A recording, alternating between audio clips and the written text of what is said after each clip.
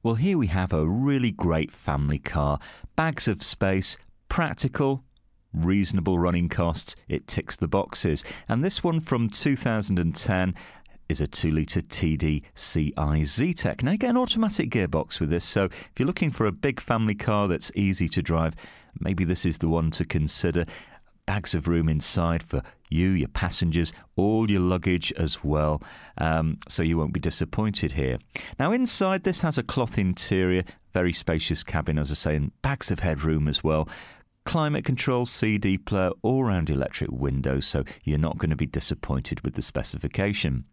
On the move, you can expect about 47 to around 55 miles per gallon. Six months road fund is just under £100. With so many great cars for you to choose from at FOW right now, you might be a bit sport for choice, but maybe this is the one for you. Come and find out.